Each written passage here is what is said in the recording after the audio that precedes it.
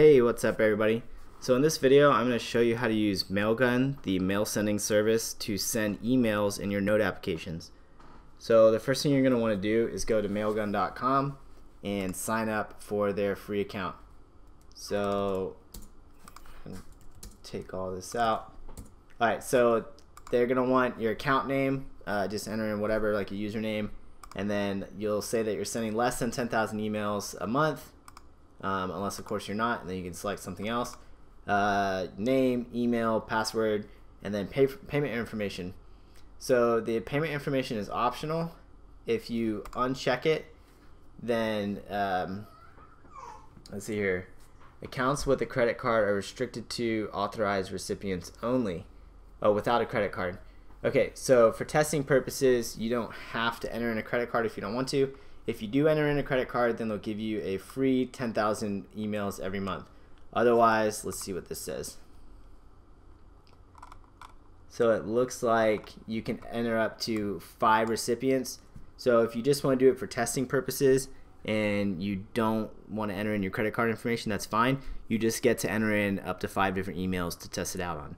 So uh, they give you instructions here for how to uh, add the the authorized recipients. So if you don't do the credit card, then go ahead and just click this link right here and leave that tab open so that you can do that in your application. Uh, meanwhile, enter in your info and say that you're not a robot and create your account. Once you create your account, it'll log you in and uh, we'll see you on that step in a second. Okay, so once you're logged in, there's actually going to be a, an orange notification up at the top here, and it's going to tell you that you need to verify your email. So you're going to go to your email. They're going to have sent you an email. Inside of that email is going to be a link. You're going to click on that link. When you click on it, it's going to take you to a web page where they're going to ask you to enter your phone number. If you enter your phone number, they're going to send you like a six digit verification number as a text message. You get that number, you enter it back into the form, and you submit it. And once it verifies that it's you, then your account is ready to go.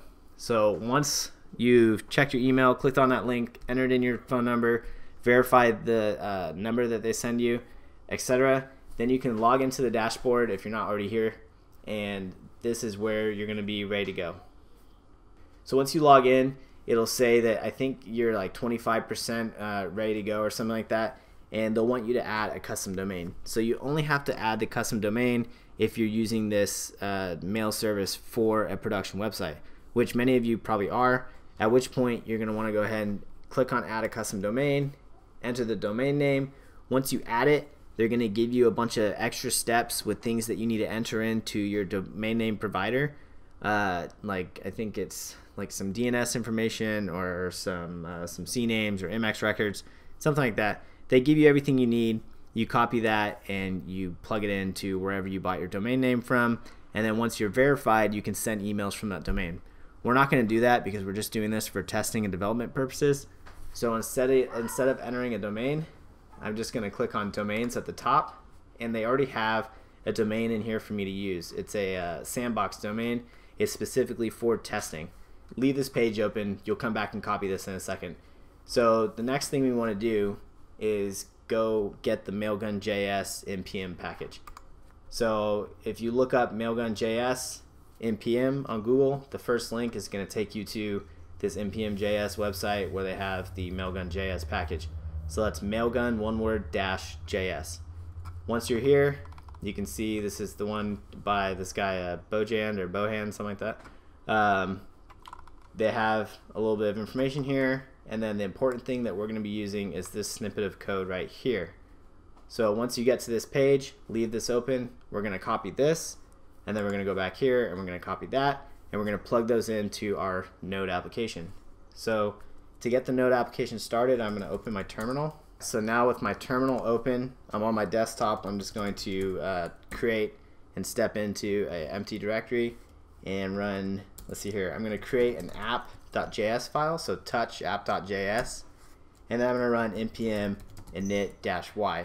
And so that just means run through npm init and select yes for all the options that they give you. And so it's just going to name it test because that's the name of the folder. And then it's going to make the main file that we use app.js because I touched created the app.js file. So now if you do an ls, we've got a package.json file for npm and we have the app.js file. I'm going to open this in Sublime. You can open it in any uh, code editor and open up the app.js file. So this is where we're going to paste in the code from the Mailgun.js npm package website. So I'm going to go back to my browser, go to Mailgun.js, and again, underneath usage overview, it's the first snippet of code. Just copy the entire thing, go back to your application, and paste it in. So I'll save that. I will go back to Chrome. I'm going to go back to the Mailgun dashboard. And if you're not here already, go to Domains. And then you'll see the sandbox one that's active. Just right click and copy that. And then I'm going to paste that in here where it says www.mydomain.com. So I'll paste it in and save this file. Now I need an API key. So I'm going to go back to the browser, go up here to the top right corner, click on my name and click security.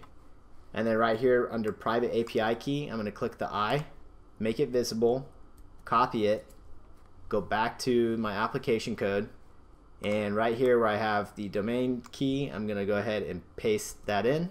So save that and then go into your terminal and make sure that you npm i-s uh, mailgun-js. So the I is for install, the dash capital S is for save. If you're using the newest version of npm, you don't have to use the dash save or dash capital S or dash dash save. Uh, it's already done for you. I just do that in there just in case anybody's following along with an older version of npm. So you can ignore the notice and the warns here. And if you go to your package JSON, you can see that Mailgun.js was added as a dependency. So if I go to app.js, now everything is more or less ready to go. I just want to make sure that I plug in the correct information here.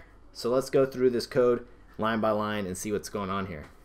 So on the first line, we're creating a variable called API key and setting it equal to our API secret from the Mailgun dashboard. On the next line, we're entering in a variable called domain. This is the domain name, the sandbox domain that they give us so that we can send out test emails. And then we create a variable called Mailgun.